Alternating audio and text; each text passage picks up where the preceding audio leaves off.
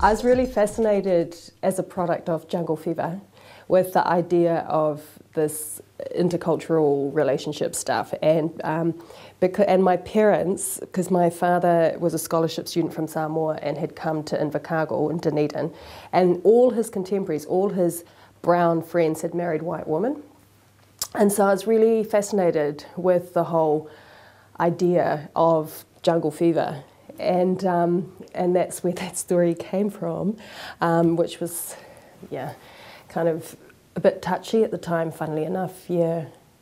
Um, even though it was the '90s, it was there was yes, a lot of people got offended. Some people, um, but that's where that came from. Yeah, that was cool. That was. Um, I wrote that story about my friend Cindy of Samoa, who we all know and love um, who's like, um, she's the mascot of the Manu Samoa and this really famous figurehead in, in, in Samoa, and she's iconic as a, as a, in, a, in the community here and there. And um, her story just always really fascinated me. I mean, just because she's just someone who's just negotiated all these worlds with absolute confidence, you know, um, and I didn't want to make it really a Fa'afafine story, but it, but it was just her journey really um, from being a queen in Samoa to being a queen here. Yeah, that was really fun. That was cool. Tagata Pasifika was, was the shining beacon of Pacific media in, in the 80s and 90s because it wasn't anything else.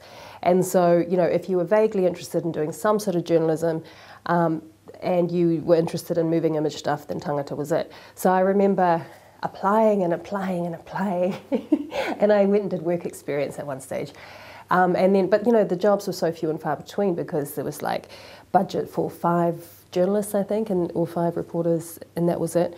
So um, when finally someone left, um, I managed to get an interview and to, and to get in. It was so amazing back then because um, because it was off-peak tally and it was speaking to a specific community, in a lot of ways we had tons of freedom to do stuff because um, you know, it was so far off the radar for the network to monitor a lot of times. And so there wasn't the same pressure for um, mainstream filtering stuff, you know, and um, we didn't have a lot of, I mean, we, we could really, we, we, were in a unique position of being able to speak directly to an audience. Um, and that was awesome, you know, because you didn't have to sort of do a story about child poverty, but um, do it so that, you know, that 1% of the mainstream audience that may be watching could understand it, blah, blah, blah. And we did a lot of language stuff. And, um, and Stephen Stehlin, who shoulder tapped me and brought me on, um, was amazing to work with in that he gave us so many opportunities to do things. I think we were lucky because I, you know, I mean, now the days of event-based tally are pretty much done, really, in that sense. So I think we were really lucky that we managed to create this series that was just on this festival, um, which is, you know, the biggest one of its kind in the world. And we started in, I think we did it as a separate production in 2005, and we've done it every year since. So it had a really good long run. Yeah, and that was that was just awesome to work on and had um, even now like we we do Polyfest as part of Fresh, our program Fresh. And so I get five different directors who do the five stages, and they just go into massive competition mode. It's hilarious. They, they, you know, pull all the tricks. Like I see one bribing the helicam guy to do piece cams, and one's running around with green screen suits and everything, and they just pull out all stops to make their ep the best ep. Um, and you know, really amazing team that um, have worked on that for a long time, who are really, really into it, like really into their stage performances and just into working with those kids. The Otara markets then in the 90s were much, much bigger as well, and they had it, they had a lot more Pacific stuff from the islands. There was a lot more kind of um, Pacific original island handicraft stuff the parallel importing thing had just happened, so there wasn't as much two dollar shop stuff as there probably is now. So I think I think we captured it at really the right time, and they had great performances every Saturday. It was awesome. They had um, you know Cook Island groups and really amazing singers, and you know, so it was kind of like this whole melting pot of colour, and and I just wanted to capture some of the stories of some of the people there, you know, because it was like a nice little microcosm of. Um, of different little community stories, you know. It was great that they put that on prime time and that they chose it for a DNZ. Yeah. Oh, how times have changed. Um, so, you know, like again, I think I was really lucky doing things at the time I did them um, because the landscape's changed so much. Um, so they took a punt on Oscar, and I really wanted him to present it because I knew that he would be awesome. And I remember pitching him to the network and um, sitting in a room with the commissioners there, and they were all going, "Oh, untapped talent." And I was telling Oscar, he was going, "I've been tapping for years. I've been tapping every week." I was really fascinated and still am with the malu, the female malu. Um, and so I just made this little piece um, called Measina Samoa, Tales of the Malu, um, which was, was just sort of a, some, it was, there's this old legend in, in this song that um, tells this awesome story of how the woman bought tattoos to Samoa because it was the women who were tattooed, not the men. And they go diving for this clam and they kind of get the bends and they come up and they get the story reversed when they're swimming back from Fiji. It's a cool story. Um, yeah, so that's what that was. It was just like a little kind of illustration of that story and some woman talking about what the malu means to them. When we started out, we were an hour long. We had 16 hours, and we had so much in an hour. We just basically worked around the clock because we were so determined it was just going to be awesome. And um, I'm so lucky that, and so grateful too, that, you know, everyone I brought on board, because it was our first shot at doing it, it was like the first time in, in 30 years there'd been another chance to make some Pacific tally.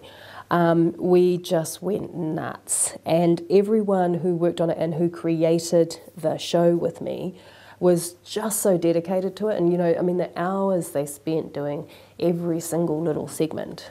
There's so much work that went into it. That was just, oh, 2010 was a very hard year. But, um, you know, I was so proud of it. When we, that we've, season one of Fresh, which when it was an hour long, is almost like a cult um, package hit. Now, people still want the box set of Fresh season one. Um, and but the really cool thing is that the community went nuts for it, um, and I think they went nuts for it particularly because it was the first time we'd um, sort of done, we'd spoken in our own lingua franca to you know we'd, we'd used fresh speak and we um, have sort of this little ebonics segment like um, electric company where you say these words and then you do your fresh interpretation and so I think it was one of the first times that a lot of Pacific kids had ever seen themselves on the tally, nuts and bolts, warts and all, as they really were, you know, in their own language. And the language was really important. Yeah.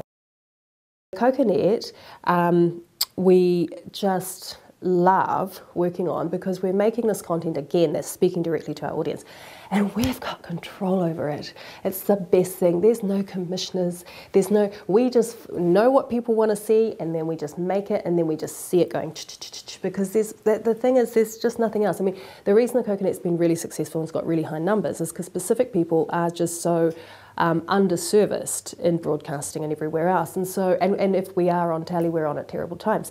So um, to have at the touch of your fingertips content that you can just bring up that actually talks to you, no mainstream filters, you know, um, and it's kind of rare, unique content in that there's nothing else like it online.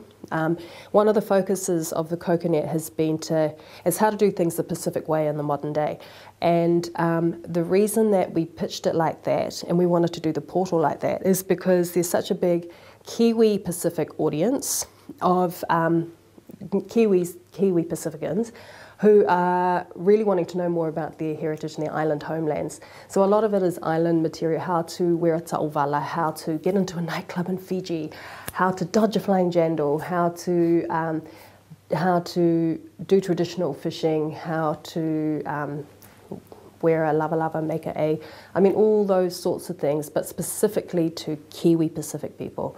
And it's just awesome to work on because you know you're working with island communities and bringing their stuff here as well. And and you know the one of the most fulfilling things and the most enjoyable things I've ever done in my life, and most of my colleagues, is working in island communities around the region. You know, so the communities in New Zealand and then the different communities in the islands, and and having the luxury to bring those stories to screen is the best thing.